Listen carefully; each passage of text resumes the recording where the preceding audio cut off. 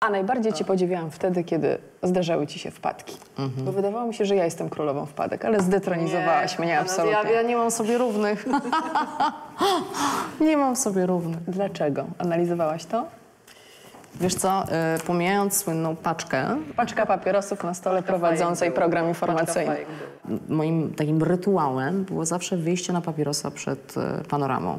I mi się wydawało, że jak ja nie wyjdę na tego papierosa, nie jestem w ogóle przesądna, to że coś się dziwnego wydarzy. Nie będzie programu. Więc ja codziennie wpadałam z tymi fajkami do studia, tylko do tej pory zawsze prze, w drodze do, do stołu gdzieś tam je upychałam. No, a tym razem traf chciał, że ich nie upychałam. Chciałaś zapalić między jednym a drugim materiałem. No.